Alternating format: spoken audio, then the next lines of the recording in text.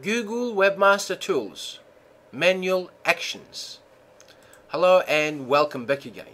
In this quick video session we're going to talk about manual actions in Google Webmaster Tools.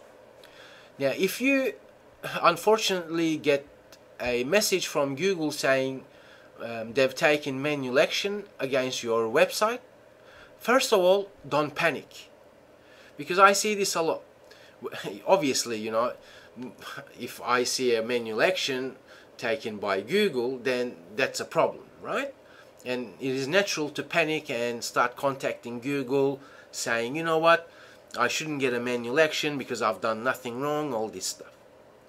Remember, Google is not out there to hurt particular um, websites or individuals, okay? manual actions that Google has as um, included in Webmaster Tools, it is all automated. Okay, so that means Google's algorithms work things out, and, for, and because it's efficient, um, it can work out many different things and then send you that dreadful message. Now, manual action works in two different ways in a sense.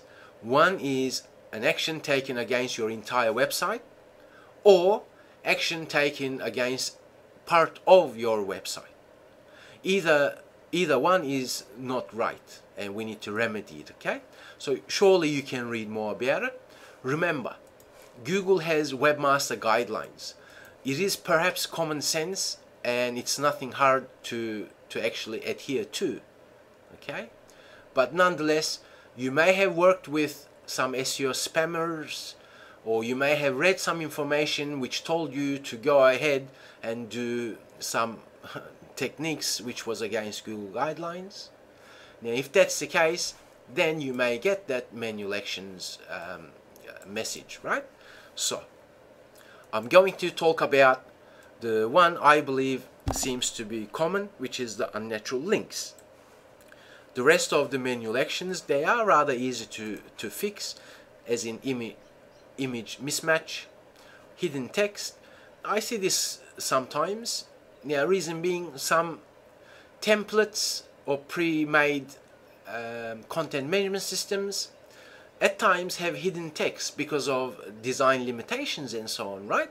And you may not be aware of those hidden text, right?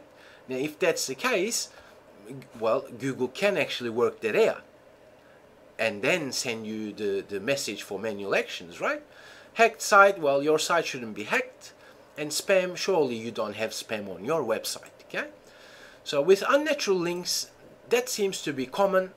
Now, what do you do if you get a message saying, you know what, Google's worked out that you've got unnatural links pointing to your website? Once again, don't panic. Second of all, Google Webmaster Tools has a feature for links to your site. I also have videos on Rank SEO Services YouTube channel whereby I show you how to analyze backlinks and so on okay so looking at your backlinks writing everything down okay if you worked with an SEO spammer who's bought backlinks for you which obviously is unnatural and it's against Google guidelines then common sense you contact the person who's got those backlinks for you and tell him or her to remove them ASAP. Okay? Now, if you you know your links are pointing to your website from all different places and you can't contact um, the SEO spammer, right?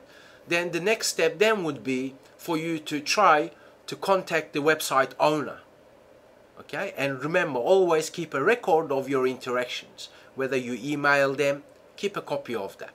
You know, approach them politely and kindly saying, you know what, please um, remove this particular link and I would appreciate it and so on. Okay, a bit of common sense and courtesy goes a long way and you will be more successful as far as getting a website owner to remove those unnatural links okay now once you follow this approach and try to get those unnatural links removed.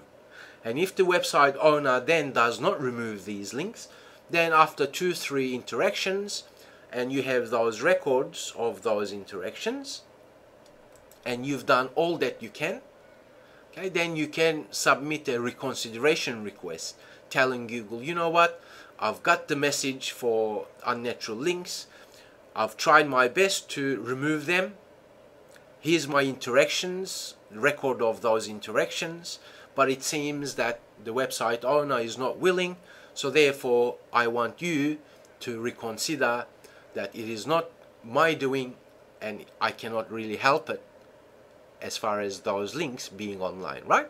So Google is really fair and they will always do the right thing as long as you make effort okay so at times some backlinks pointing to your website uh, maybe from websites where they have no contact information for the webmaster right so then you can do a bit of research and type in WHOIS plus the domain name to get an idea as to who registered that domain, right?